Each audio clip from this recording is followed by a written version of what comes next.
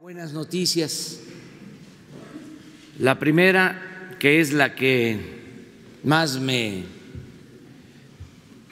place, es que se aprobó ayer en la Cámara de Diputados el que se eleve a rango constitucional el derecho a la pensión a los adultos mayores, a niñas, niños pobres con discapacidad,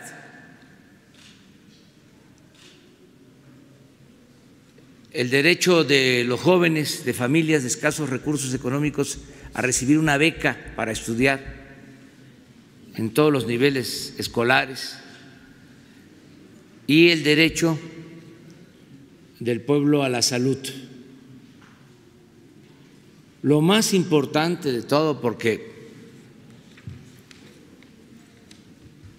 en la Constitución hay desde hace tiempo derechos convertidos en letra muerta. El derecho a la salud eh, se estableció hace 25 años, 10 hasta ahora que estamos en proceso de garantizar el derecho del pueblo a la salud, porque pueden haber enunciados, ¿no? pero eh, no se cumple, no se lleva a la realidad. Por eso, en uno de los transitorios que se aprobaron ayer, se establece que para garantizar estos derechos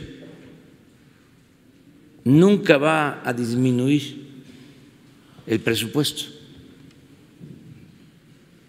Cada año tiene que ser mayor o no eh, reducirse. Y es mandato constitucional. Esto nunca se había hecho. Es eh, totalmente heterodoxo en cuanto a práctica parlamentaria. Pero así se asegura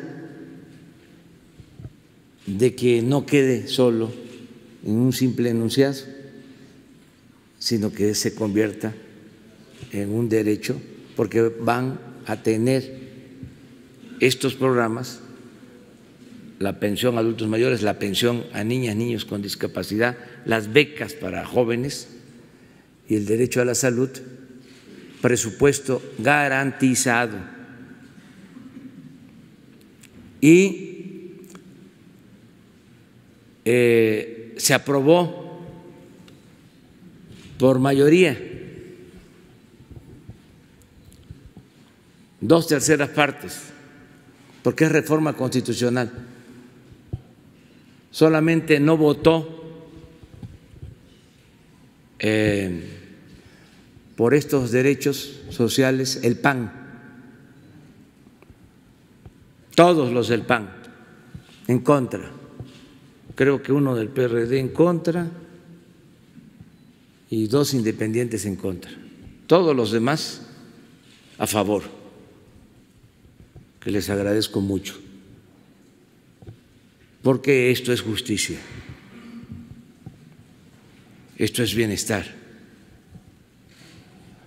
esto es apoyo al pueblo y sobre todo a la gente humilde, a la gente pobre, a los más vulnerables.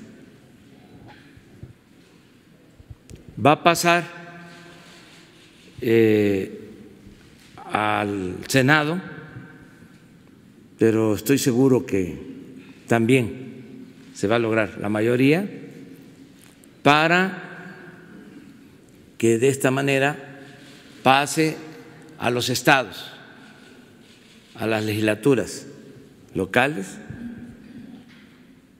y se apruebe la reforma constitucional.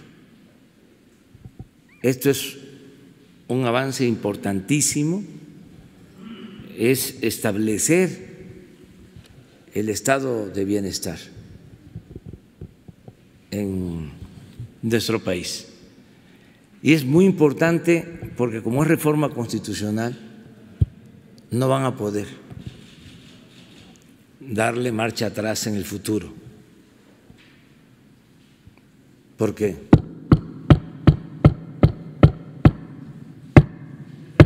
toco madera, no van a regresar los conservadores, no van a tener mayoría.